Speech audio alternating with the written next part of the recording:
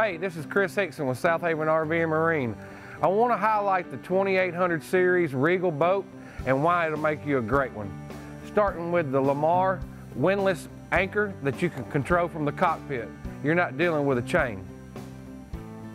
We're going to come on back to the high gloss finish and notice that Regal does not put any decals on here. It's all painted. We're going to come back and show you the FasTrac hull design which gives you 30% better fuel economy and gets you on plane 20% faster than all my competition.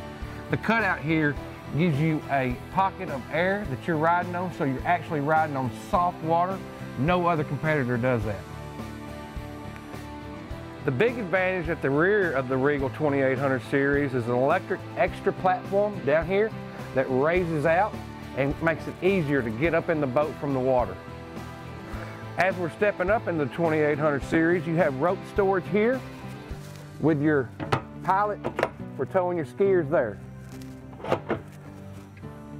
Regal puts your radio controls over here. That way you have easy access to turn the volume or station while you're swimming. And we also have the Volvo Penta OutDrive and Volvo Penta 380 horsepower engine with dual props. Now let's step up inside and look at the quality finish. Regal does a really good job hiding all their hinges so you have adjustable backs of your seats so the kids don't get their fingers pinched or smashed. You have the hard top with a convertible canopy. As you can see, Regal does a really good job of giving you lots of room to move around in the 2800 series. You also have adjustable backs in the cockpit area. And another neat feature that Regal gives you is a helm with commode and sink.